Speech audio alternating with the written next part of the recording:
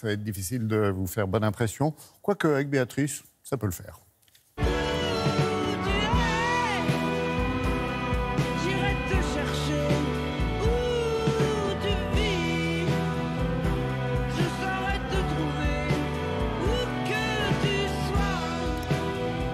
Oh, je m'installe, je m'installe. Prenez votre temps, Béatrice. Pendant ce temps-là, on écoute un, très beau morceau de musique. Ouais, Jean-Louis Aubert. oui, faire bonne impression, ça va être facile avec vous parce qu'on va parler justement des impressionnistes, pas n'importe lesquels. Parce que les impressionnistes, au masculin, on les connaît, alors qu'il y a quand même une signature féminine et enfin, on lui rend hommage. Enfin, on, lui rend hommage effectivement euh, à cette, euh, à cette euh, Berthe Morisot. Il était temps. Il était temps parce que ça n'était pas arrivé au musée d'Orsay depuis 1986, un musée consacré euh, aux, hein. impressionnistes. Le temps passe. Et alors c'est vrai qu'on en parle moins euh, de Berthe Morisot, alors que, alors que elle est extrêmement connue. Elle est extrêmement connue. Elle est connue aussi pour être la belle-sœur euh, d'Édouard Manet.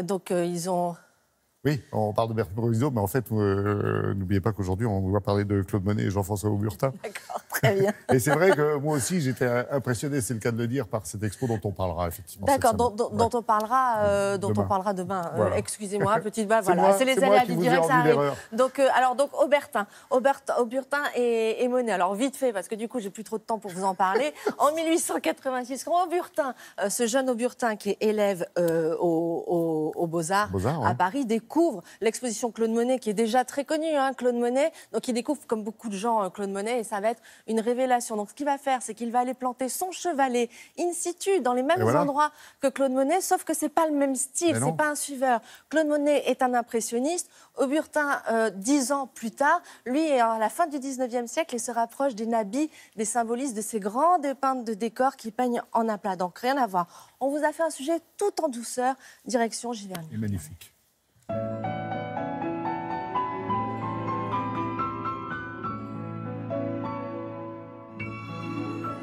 Jean-Francis Auburtin, s'il a été extrêmement touché par l'œuvre de Claude Monet, il a sa propre personnalité dans le paysage. On a un artiste qui est euh, vraiment au carrefour de différentes influences, à la fois impressionniste bien sûr, symboliste, et tout cela est très présent dans l'exposition.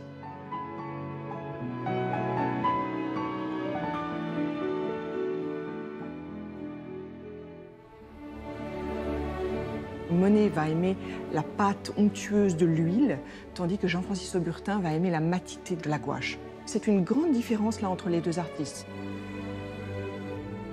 Claude Monet va s'intéresser euh, davantage à euh, toutes les impressions atmosphériques dans le paysage, à rendre euh, le vent, la lumière, le mouvement des vagues, les impressions du soleil, ce miroitement que l'on ressent très très souvent dans les œuvres de Claude Monet alors que Jean-Francis Auburtin va s'intéresser davantage au silence, à la contemplation, presque empreint d'une certaine religiosité.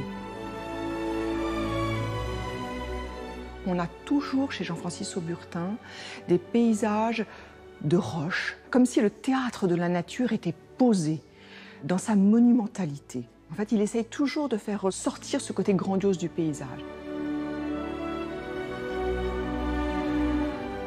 Il y a des recherches de lumière extrêmement différentes chez les deux artistes. Chez Claude Monet, on sent davantage une lumière du matin, une lumière qui vibrionne.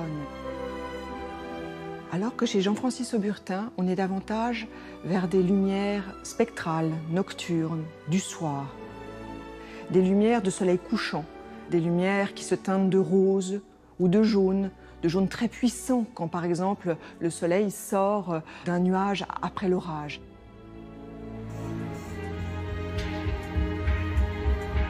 Jean-Francis Auburtin est un peintre encore à découvrir.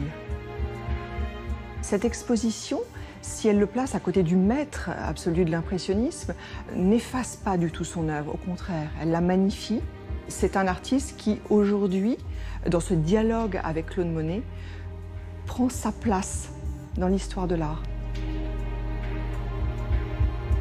Oui, c'est ça qui est formidable, c'est qu'il n'y en a pas un qui efface l'autre, bien au contraire. Donc c'est à découvrir Monet Auburtin jusqu'au 14 juillet. Monet Auburtin à Giverny. On est bien d'accord, au musée des impressionnismes. Désolé de vous avoir enduit d'erreur, c'est le cas de le dire.